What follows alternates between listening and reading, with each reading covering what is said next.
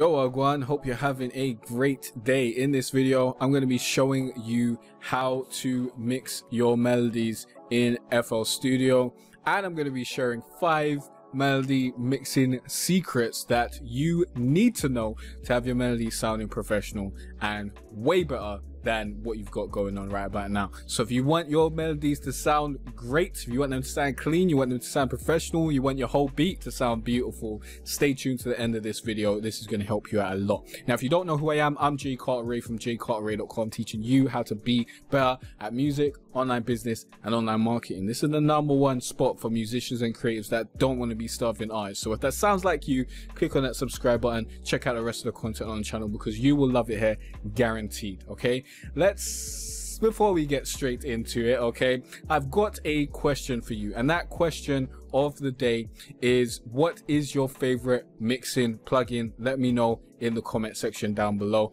Now let's get straight into it shall we? And here we've already got one of my favorite mixing plugins halftime but we're not even going to talk about halftime in this particular video. Actually screw it let's talk about halftime in this particular video. It's not one of my five mixing secrets, but it should have been, okay? Halftime is a great way to turn a chorus melody into a verse melody. And let me show you an example of what I'm talking about. Here is a chorus melody, okay? Let me play this back for you.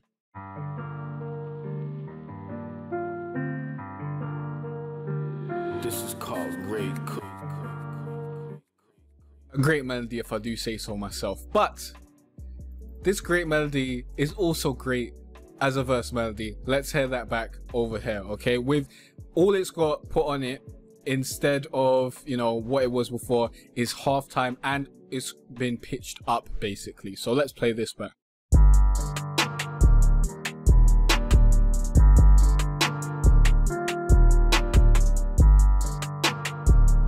Now, something that can make your beat super, super boring is if you have the same melody from chorus to verse to chorus. It just makes your beat sound super, super repetitive. So put in halftime on it and get in like a different version of your melody that's just a little bit slower and basically fits that verse vibe makes a lot of sense. Okay, so that's a secret that's not part of my five secrets, but I just had to tell you that because it was there and you know it's something that I know, something that you should know as well. So, so, so, so, so First of all, I'm going to be using my R&B trap beat mixing template for all of this. And honestly, you should be using it too. There's a link down below to grab this or go to jaycartere.com forward slash R&B trap FL to go and get that. But this is what I use and it makes my beats half mixed before I even get to the mixing stage. So if you want your beats to sound more professional, then grab this ASAP. Okay. So I'm going to be going through some basics of mixing your melodies right about now. But with my template, all of these basics are taken care of before we even get to that stage. So first of all is EQing, yeah? And first secret is to EQ at the low end. Now, I generally have my EQ to at least 115. And the reason why you want to take out the low end, this is a low cut, maybe, or low? Let me see what the right word is by getting neutron i believe it is. If we get neutron eq here that's going to tell me the right name. My bad. Low high pass? I'm not 100 sure on the right name but neutron is also a great eq plugin. Uh, there is another eq plugin that i'm planning to check out that is gonna help basically teach you a lot of eqing but that'll be here for a future video. So let's quickly get this low shelf. It can be a low shelf or it's, it's basically a high pass, flat high pass, okay? So I'll generally do a flat high pass to 115, yeah? And the reason why I like Neutron is because it's just so easy to get the the different things that you want to get. Like if I want the high pass or whatever, it's so easy to get that set up and get that running. But for the purposes of this video we're not going to go through it using neutron because uh, with my template i just do uh, normal parametric eq in fl studio because some people don't have neutron. So let's go through okay? So we've got a low or high pass to 115 i always get that confused. High pass to 115 and a low pass to 5703 Okay, so we've got rid of the low end that is secret number one. The reason why we got want to get rid of the low end is because we want to create space for that 808. Now, if we don't get rid of the low end in our melodies, then the 808 is not going to hit as hard as we want it to hit. And when you're making a beat with melodies, you're going to have an 808 or a kick drum or some sort of bass element in there as well. And you want to create space for that bass element. So doing this cut is what creates space for that element.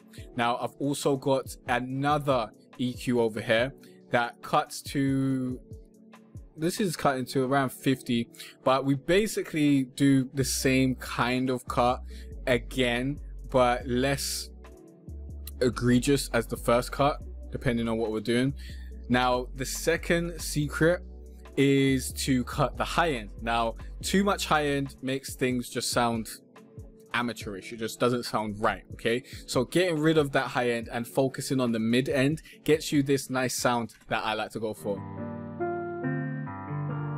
Like I just love everything to be super mid heavy. So I get rid of some of that high end. But we still got, you know, we still got a fair amount of high end. Like we've got 2936 and all that. Like we're only cutting to like 5703. And then uh, in our second EQ, we're cutting to 4961. And then these are just specific on the melody that you're creating. Sometimes you'll have certain notes that are just, they just sound wrong. They're like ringing in your ear. They just sound uh that they're, they're annoying to your ear and in those situations you'll cut those out with you know some EQing but I'll get deeper into EQing in a future video. These are just you know some quick secrets to get your beat sounding way better and get your melody sounding way better. So that's the EQing EQ at the lows EQ at the highs. That should be the first step of your melody. Make sure you're doing that okay? Next step is to bounce your melody and change the pitch. This isn't the original pitch of the melody. No, no, no, no, no, no, no. No, no, no. I hardly ever bounce a melody and have it the same pitch. This is pitched all the way down a whole octave, okay? So this is what the original melody sounds like. Let's play this back.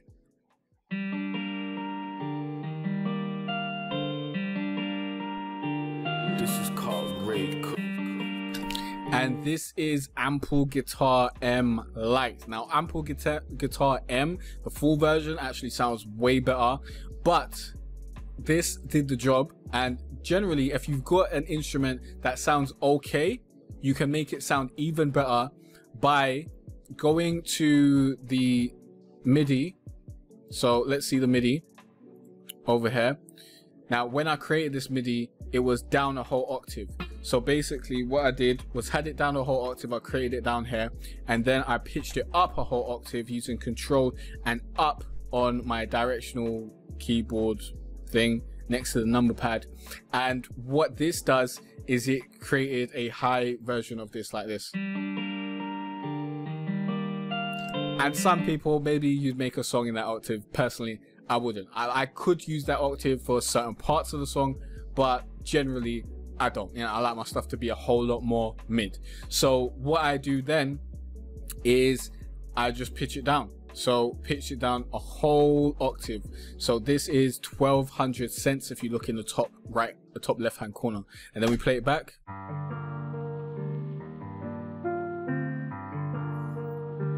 This is called great. And it sounds like someone recorded it 30 years ago and I've just dug it out of a crate or something, yeah? It sounds beautiful and vintage, yeah? Another thing that's making it sound beautiful and vintage is something that I'm going to talk about in the next secret.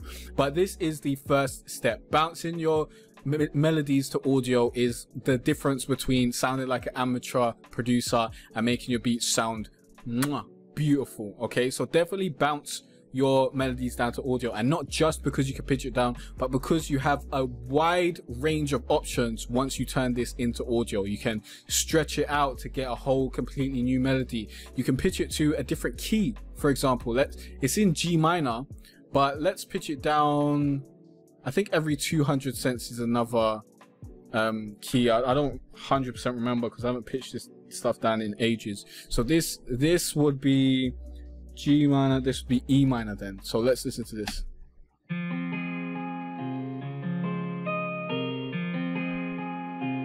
This is called Sounds different, doesn't it? Sounds interesting, actually. But if I was going to pitch it down to E minor or something like that, I'll pitch it down such a small amount, then I wouldn't pitch it up in the first place. So that's just something to learn there. But this gives you so many different options and just pitching it to a different key or pitching it down a whole octave basically just makes your melody sound a whole lot more vintage, sound a whole lot like it's got a lot more wear and tear and just makes it sound more interesting. Sounds like it's got more flavor. Like, you know, when you're, if you just ate a whole pot of pasta with no cheese and no anything on it, just plain pasta, it will taste terrible. It tastes super bland. Yeah, you don't want to eat pasta with nothing. You want that sauce. You want that sauce. And honestly, me personally, like I can't just eat a tomato sauce. A tomato sauce is okay. That's that's a mid dinner. Yeah, I need some spice in that. Yeah, I need some flavor. So you gotta add some flavor to your beats as well. Don't have it all bland and terrible, okay? The next step to add even more flavor is to grab some RC20, okay? Now this is my mixer, which is, I don't know why it was being into a pulp and got squashed like that, like, you know, when Mario jumps on those those people's heads in, in Mario, uh, Mario World or whatever. Um, so here we've got RC20 and pretty much for all my melodies, let's get that a little bit bigger.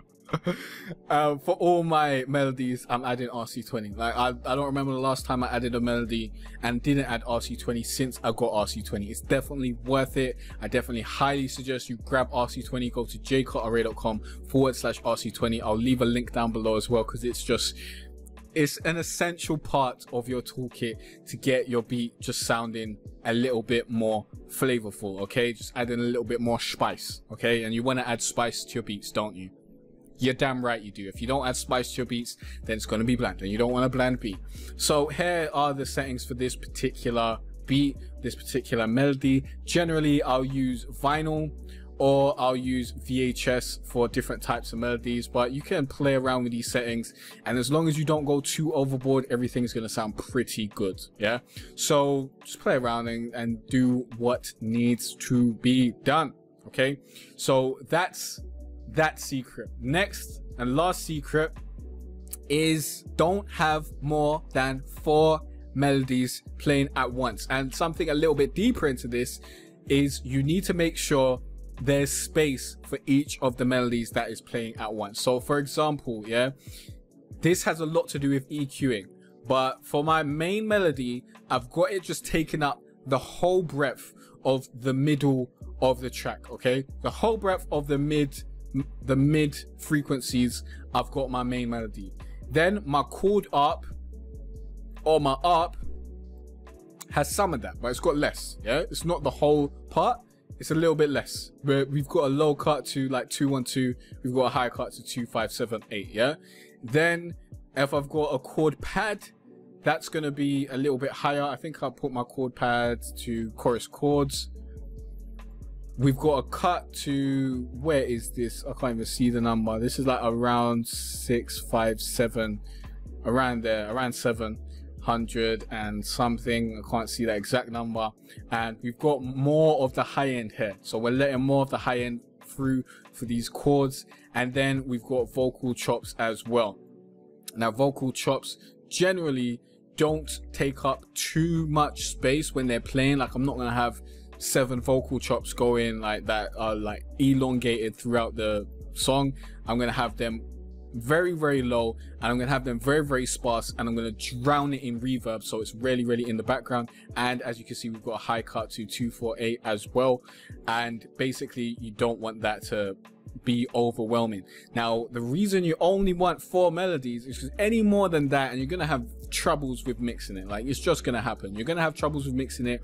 It's gonna start to sound muddy and your your melodies aren't going to sound as great as they could be. Also another tip that I do is I have my main melodies panned to the left. I have my high melody, so stuff in the high end of my track generally panned to the right. And I'll have my pad straight in the middle okay so that pad is a supporting element for the chorus that basically lets you know hey we're in the chorus right about now And yeah, let's play these melodies back so you can kind of see what's going on here. And we'll play it without the drums, and then we'll play it with the drums so you can hear what's going on. Okay, so let's play this back.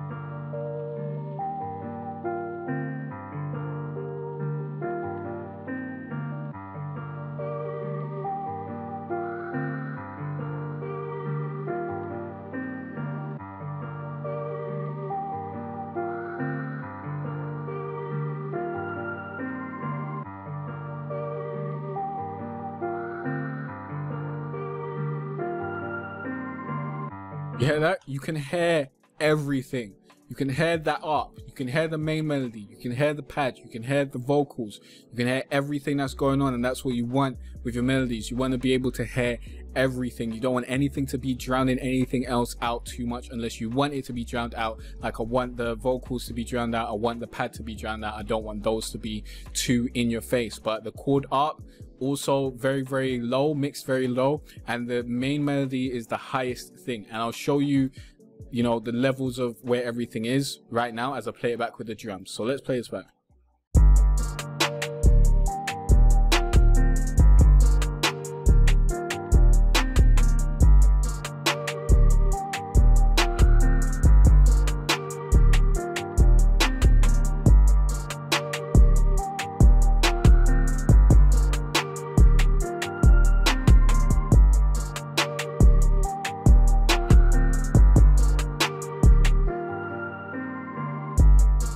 So as you can see, the core the chorus pad is super super low. I just want it to enhance everything else that's going on. Honestly, I could turn the vocal chop down a little bit more. Let's actually head that back and turn that down a little bit more.